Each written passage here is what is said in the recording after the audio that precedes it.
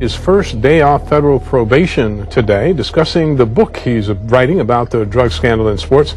And in an exclusive interview in today with KTVU, Conte also made serious accusations against a key figure in the Balco investigation. KTVU's Rita Williams has that report. It may be hard to believe that self-described Balco boss Victor Conte has more explosive secrets to reveal, but he says he does and told me today he'll tell all in a book due out in September with the working title Balco, the straight dope on steroids. I knew they didn't have the evidence that they claimed that they had, and that's why I walked out into a sea of reporters and did this. That meant this. Victor Conte is a person that can come across to be anybody he wants to. I mean, I think most people who hear and see Victor Conte realize is him for who he is. And that's, you know, a used car, snake oil, salesman, bullshit artist. Mark and Lance, thank you for joining me on the podcast. It's my pleasure. Great to be here. So, Game of Shadows, it's over 250 pages of investigative journalism, it's detailing one of the biggest scandals in sports, which is the uncovering of rampant steroid use at the highest levels of athletics and the international web of steroid distribution run by Victor Conte of Balco. So Victor Conte was the guy running everything behind the scenes, the the distribution of the steroids. He was the one building relationships with athletes. You guys wrote Victor Conte is kind of a power driven guy. He gets in there and he likes to stir the pot. Victor has always, uh, Victor was always the go getter, uh, always one scam or another. And he was one of those guys who liked to play all angles and was good at it. Well, Victor is, he's an amazing character. That's what I always used to laugh. Like, you know, you just can't, you just can't make him up. Like he's he's he's almost too good to be true as a character to write about. He was also a musician. He played bass. Um, and he tried to sort of make it as a as a bassist at various points. And mm. he even, you know, there's a point where he ends up. He's got a cousin who's in the band Tower of Power, which is a, a fairly famous Bay Area band, and um, and Victor sort of finagles his way into the band, and and these are this is a really you know popular, long-standing band, and the next thing you know, Victor is basically trying to like overthrow the band. He's trying to become the leader and yeah. um, this is sort of the mentality of who this guy was. And and they they promptly there's a scene in the book where they basically just kick him out of the band and and uh, as he's as he's trying to make his move. Um, but he he he evolves into this guy. He's sort of this chameleon-like figure. Um, he revolves into this guy who um, gets into the the supplement business in the early days of, of that industry, and um, and he creates this sort of like whole idea that he can mastermind the specifics of what supplements you need to to uh, to make your body more effective, to perform at a more effective level. Not just high level athletes, but anybody. Um, he spends a lot of time in the Stanford Library reading about these substances, and then ultimately also about steroids. And and he evolves into this guy who he creates this idea that he's gonna he's gonna do this thing where he he measures the levels you have of certain vitamins and in your body, and he's going to tell you what you're missing. And mm. inevitably, what you're missing is this product that he has made, this zinc and magnesium product he's made. And he says everybody needs it. Everybody needs more zinc and magnesium. And this is the way to, to survive. And he builds this industry, and this is his legal industry. And what he does is a sort of ultimately a fairly traditional marketing move where he aligns himself with high profile athletes who will sort of sing the praises of his product called ZMA. My name is Victor Conte, and I'm the creator of the sports nutrition product ZMA. The database that we had, we were testing blood samples, were over 250 players. And what we discovered was that they had depletions or deficiencies of both zinc and magnesium. I created this formula that's a combination of zinc and magnesium, and to enhance the bioavailability or absorption, uh, I added some vitamin B6. This is actually uh, a picture of the, the original ZMA formula. What's up everybody? Real quick, I want to do a another bogus supplement review for you guys. And that supplement is ZMA. ZMA uh, is a test booster, which it, it, claims that it increases your testosterone, yeah. which is fine and dandy. But yeah. when you look at the ingredients, if you're not, if if you be more skeptical when you come across supplements, if you look what the ingredients are, you'll be amazed what's in this product. Yeah, this is the ingredients: zinc, magnesium, and vitamin B6. We actually took this supplement for two months. Yeah, this is the only supplement I took with a protein shake. I tested for about two months, you know, to see if I experienced any strength increases. Now, this product stated that you will have deeper sleep and you're going to have more vivid dreams, yeah. which I did have the vivid dreams. I'm not too sure if I slept better, but I did have vivid dreams. So I took the product, followed by the directions, did not have any strength increases. The only uh, ingredients in this is basically vitamins and minerals, zinc, yeah. magnesium, vitamin B6. Yeah. If you're eating a, a diet in high in whole grains like brown rice, beans, peanuts, things like that, bran flakes, uh, oatmeal, those foods are just drenched in magnesium. ZMA is a supplement marketed towards athletes, gymnasts, and bodybuilders. It was developed by Victor Conte, founder of Balco Laboratories. No high-quality scientific study has found it to have any beneficial effects on muscle building or strength. The International Society of Sports Nutrition and the Australian Institute of Sport regard it as having no clear benefits. So if ZMA has no real benefits whatsoever, then what purpose does it serve to its athletes? It seems as though SNAC is a cover-up to the steroids and Victor Conte is back to his old devious ways. One would think, with Terence Crawford newfound popularity and fame he can now find a better brand to sponsor him. But what he really does to take this to the next level and why he becomes a figure in our lives is that he aligns himself with these athletes and he becomes basically their steroid dealer. He ends up being their connection to a range of substances. And, and in, in return, what they do for him is they market his legal product. And so basically, and sometimes they pay him. So there's a mixed bag of him getting money, of him in exchange for marketing, he's giving them a range of performance enhancing drugs. And he's cocktailing these different kinds of drugs. He's connecting with certain people who have access to them. And, um, and he's creating, in his mind, some of the greatest athletes in the world. And in fact, is. You know, his, his work with, you know, Tim Montgomery, for example, leads to mm. Montgomery becoming the world's fastest man. His work with Bonds clearly leads Bonds to become the home run king. Um, and it's in that context that you end up connecting with, with Victor.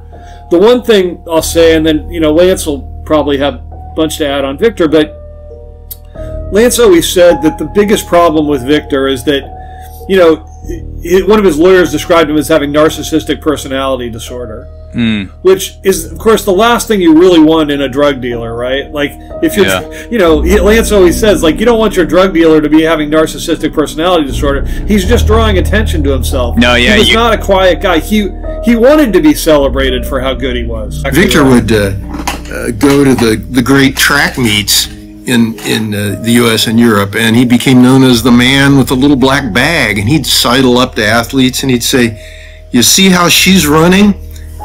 That's because she's yeah. working with me. You ought to work with me. A combination mad scientist, marketing guru, uh, and uh, wants all yeah. the credit. Yeah, he and they, they with Montgomery, you know, they literally created a a, a thing they called Project World Record. Mm. The whole thing was designed like we're going to create Tim Montgomery and turn him into a world record holder. And integral to that, of course, was the drugs. And and they were, I think, incredibly proud of the idea that they could tout that they had created Montgomery. Who, um, that was a who went on to win the hundred meter world record mm-hmm. while using Victor's drugs. The other thing I remember on Montgomery is he gave you a window into how competitive athletes think and feel and, and the extent to which uh, uh, uh, they want to win. He told Victor that he'd take whatever Victor gave him. He didn't care if he dropped dead at the finish line. And and you mentioned it, it, seems so obvious now to connect the dots and and looking back at all the the documentaries and things that have been made about the steroid scandal. Well, there was tremendous audience resistance to the story we found. Uh, people just I mean, today, sports fans today all know about performance enhancing drugs, whether they like it, hate it, don't care about it, but that's just part of sports. You know about that. But at the time we were doing these stories, most fans, uh, and of course, even people who owned baseball teams didn't seem to know much about them. And uh, when you when you told them that their heroes were drug cheats, the, the initial uh, reaction was, uh, "You're lying. Uh, you're making it up." You know, they they uh, we we got emails and calls at the paper. Uh, Giants fans they just couldn't accept that the home run king had done anything wrong. Later, after it was obvious that it, the stories were true, then it became, well, so what? Everybody does it. But uh, that's sports for you. That's fans. Victor Conte was 100%, uh, you know, he seems like a narcissistic, complex, just seems, uh, thought he was smarter than he was. He, he seemed like that type of character where he thought everything was under control. And that seems like it ultimately led to his downfall. But at the beginning of this story, it was like this hole in sports, it, in uh, let's go uh, stick with baseball for the example, but this hole in baseball where steroids aren't being tested for, this hole in baseball where steroids aren't being tested for, this hole in baseball where steroids aren't being tested for. It's illegal, yes, but you have proof that these drugs will help with the performance of athletes, and I'm going to design undetectable steroids to give these athletes and monitor the schedule and essentially evade these testing programs. It makes you really think though, because Deontay pays more money to have extra drug, drug testing done for him and his opponent. Wow, I didn't know that. I talked to Deontay. He says he doesn't take any chances. He pays extra so that there's more random testing done for him and his opponent. And look how many guys fail. You know what I'm saying? Not everybody can afford. Not everybody, not, not everybody can afford to do that. Some guys don't want to do that because they're cheating, but, but also not everybody can afford to do that if they're clean to uh, you know afford to pay all this extra money to make sure that there's extra testing done for him and them and their opponent. But just look at Deontay, he's doing this and, and, and, and commend him for doing it because he's trying to keep it clean, he's trying to keep everybody clean. But look what happens to him. It's costing him his career. I mean, he's not fighting enough. He's not fighting the big fights because even when he's getting a big fight, the opponents fail a drug test, so then he's, he's got to take a secondary opponent, and that costs him promotion, that costs him attention, that costs him everything. There, there's so many pitfalls to trying to be clean in this sport. It's such a, a ridiculous thing, man. Like you, you start to hate it more and more as you get older. I, I said years ago, the, the sport's full of shit, or it's, it's full of shit. It's, it's so frustrating. It's really frustrating. People just get slicker or smarter about masking what they're taking. You can't Not even that. It's the testing is so freaking weak at this point. There's not enough money to do it often enough. You know, like I said, you got to pay yourself to try to get more. Uh, That's wrong. Regular Why testing. should you pay? Because you don't. They don't have the money to. Because drug testing costs so much money, and so you know, it's not even that they need to mask anything at this point. It's just not enough testing done. If there's enough testing done, you will catch these people. You know, like you will catch a lot of them. And then you'll really have to be really good to, to, to not fail. You know what I'm saying? Like, like they talk about always like cycling is like such a dirty sport. No, cycling is actually the one that makes the effort to catch everybody. So they do catch everybody. It's not dirty. It's just the one that makes the Yeah, on top catch of everybody. You know I mean? You do. You, you are just as as on top of testing as, as they are in cycling in any sport. You'll get that many failures in other sports. Well, just like baseball, when they never tested anyone, they won't take it. It's crazy. Yeah, it's crazy. Look at the numbers how they drop right away when they started getting tested harder. Yeah, I heard even the NFL, you get like a you get like a heads up when you're gonna get a test. What, what kind of bullshit is that? Do you know boxers who you think are juicing? Can you tell? Or no? Yeah. How can you tell? Um, stamina, um, sudden increases in, in, in, surges in power energy, um, sudden increases in um, um, punch resistance to a point. Uh, guys not getting old. Um, uh, you know, the, the, the age of fighters of continuing to fight, lasting longer and longer. Um, guys who you know have even twice as many fights as me, is not showing aging signs. It's crazy, you know. So you know, I, I think some things are obvious, some things are less obvious. You know. Last week was a bad week for boxing. Conor Benn Eubank. Yeah, what did you make of all that with Conor Benn's failed test? Yeah, yeah, it's a shame. You know, I, I, it's been something I've talked about for probably a decade and a half already. You know, about the problem with uh, performance enhancers in in in, in, in, uh, in the sport. But uh, as soon as you mention somebody's favorite fighter, they don't want to hear it anymore. They don't want to talk about it anymore. So you know, the odds are, if there's a performance enhancing drugs problem in the sport, the odds are that the best fighters in the sport are doing it. You know, the the, the performance enhancing drugs aren't a problem at the mid tier. They're a problem at the high level. You know, because that's why guys do the the performance enhancers is to reach those high levels. So once you say things like there's a big performance enhancing drugs problem in boxing, well, the first place you start looking is at that elite level of the sport because obviously those mid tier guys aren't going to be the ones doing it and beating the upper level guys, right? If they're not beating the upper level guys, that means they're not doing it. So um, you know, it's a problem. It's been a problem for a while, and I think it has multiplied because nobody was listening when I first started clamoring about this, and uh, they were actually complaining about me. And now you have a big problem. I think now it's it's a major problem. And I don't think anybody wants to correct it to tell you the truth, so I don't really talk about it that much. Tony Bellew said last year he feels like maybe 70 or 80 percent of the champions at the moment are all taken or have taken something. It's certainly been exposed to something. Do you think it's that many, that high? Yeah, yeah, I think it could even be a little more. You know, I, uh, I think so. Uh, you know, people will always say, "Oh, the fighter's jealous when he says that." Well, of course, you know, to a degree, there's a hint of jealousy because I think you see guys getting further than you because you're on PD, they're on PEDs. There, there's no way you're going to get as far as a guy on PEDs if you're not on PEDs. So, of course, when you don't do them, it leaves you a little bit better, of course. So, um, yeah, I do think it's about 70 or 80 percent of the sport. I, I am in the sport, and I, I, I can see this, the changes that were subtle and not so subtle of the last 30 years. Weight classes jumping, um, you know, energy levels, uh, oxygen levels, uh, the way fights are. It's, it's, it's, it's a problem, but you have to want to fix it. But you don't know what's going to happen when the bell first rings. You know, you know, you can only go through it in your mind. You sat here and said, "I don't know if this is going to be a hard fight. Mm-hmm. We don't know until we get in the ring." At what moment in that first round did you catch a feeling that okay, I could dominate this, or I see how this is going to go? When it first started, I already knew. When it first started, I already knew. When it first started, I already knew. You knew when the bell rang? I already knew. First and foremost, I know he haven't faced a southpaw okay. in some time now, and I think he only f- faced two southpaws in his whole career. Yeah. You know, so uh, I was very confident. I trained my ass off for that fight. I want to ask, in the fight, when did you start feeling sorry for the dude, man? Uh, around probably like the sixth round.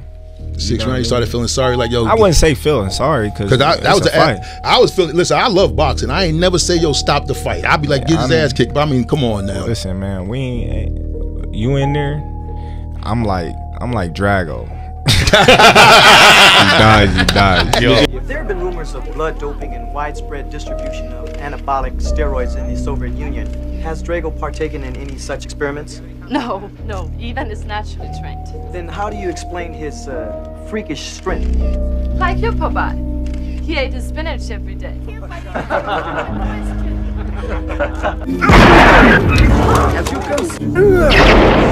Did he hit hard? What's it? What's no, it? no, This punch wasn't hard. Not at all. Did he hit hard? What's it? What's no, it? no, This punch wasn't hard. Not at all. Did he hit hard? What's it? What's no, no, this punch wasn't hard. Oh, in the past, you worked some Yes. with Derek, and so I'm sure you've seen Errol Spence up close. Oh yeah, yeah, sparred multiple, multiple rounds with him. What would you think if he came up to middleweight for some big fights? He would be, I mean, he hits like a light heavyweight, and I'm not saying like a light heavyweight, like an average light heavyweight. He hits like a light heavyweight that can punch. He hits like a light heavyweight, and I'm not saying like a light heavyweight, like an average light heavyweight. He hits like a light heavyweight that can punch. He hits like a light heavyweight, and I'm not saying like a light heavyweight, like an average light heavyweight. He hits like a light heavyweight that can punch. wow. No, no, really. I, I, I said it like I said it like I said it. You know what I mean? In the interview, like I was expecting more. I already knew I was strong, uh, physically strong. You know, I've been physically strong my whole life, even though I was skinny. But you know what I mean? When he hit me with a with a left, boom, it was like bam. I was like, that's it. How about this? A week after that, Ugas and Spence. Oh, that's a good. That's a, I look, I'm looking forward to that fight. You sparred I- Spence? I sparred Spence. I didn't spar Ugas, but I have Spence, but it's, it's going to be a tough fight for him. How hard does Spence hit? Oh shit, he hits. He hits every five pounder. That's what everybody tell me. He is sparring, man. He's heavy. Very smart fighter. And he doesn't get tired. How hard does Spence hit? Uh, he didn't hit. He didn't hit that hard. But he never caught you that clean. That was probably Yeah. the best shot he landed. No, he called me. He called me a couple of times, but you know, I was surprised at how hard he didn't hit. Kell Brook, his trainer tried to discredit Errol and his opposition, saying Chris Algieri isn't a puncher, saying that Van Heerden isn't on that level. What does Adrian Broner, who's a four-time world champion, what do you think about the opposition of Kell Brook? Fucking I don't. I got it. I got this. Listen, fuck all that. I've been punched before by Errol. that motherfucker punched G. Even that everybody say, "Oh, he's a big puncher. He's this." I think he's just a volume puncher. I think he just wears opponents down, just wear them down. I, I don't think you know he he has a one punch knockout. He have power, but it's not like you know, boom, sleep. You know what I mean? I think it's like bam, oh, boom, boom, boom, boom. And then he just wear you down. Maybe you should do a colon cleanser or something. Do you do colon cleanse? No. Do one and you're gonna be amazed. Really? Swear. I don't know about that. What'd you do? What'd you take? No, I just you know take uh you know just a little colon cleanse uh Mm-hmm. dietary, not like supplements or Right, and- not like supplements or Right, and- Not like supplements or right, stuff like that. Like just stuff that It's like fiber. Yeah, like a meal prep I got company. A, that I got a nutritionist. I got a uh, chef. All that. Yeah. And you're also I saw on. Are you a part of that SNAC thing too? Yeah. Yeah. So that's uh what that is is uh that is that um that dude from Balco. Yeah, yeah. Victor Conte, Yeah. yeah. So Victor Conte, he was on the podcast back in the day. So he's a guy that busted or he got busted for with Barry Bonds and Yeah. the, the clear where they were giving him that undetectable steroids Mhm. and now he's on the other side of it. He's Yeah. making sure that the whole sport is clean. Yeah. And nobody knows better than him because he cheated for years. Yes, Yeah. and they and they hate it. they hate it Yeah. because you'll see a lot of people like, oh man, this dude was a cheater. This dude was this. This dude was that. And then you know, you can't get nothing past them. Well, he was a cheater, but you know, just because a guy was a cheat. look. First of all, that's the kind of guy you would want Yeah. being involved in cheating. Well, that's the kind of guy you would want Yeah. being involved in cheating Well, that's the kind of guy you would want being involved in cheating. and ch- catching cheating. But he's trying to clean up the whole sport. Yeah. Somewhere in the third, it seemed like you picked up the intensity. Is that when you felt like you started to get to him? Yeah, yeah, yeah. I felt like I was, I was in control the whole fight. You know, um, the first round, neither one of us really did anything. We was kind of just filling each other out. The second round, he kind of started picking it up a little bit, and um, I I caught him with them two shots. I feel like that's what led me to get more control because I I felt as if I I caught him off guard. He wasn't expecting me to punch as hard as I did. So I could see on his face he was kind of like, "Whoa,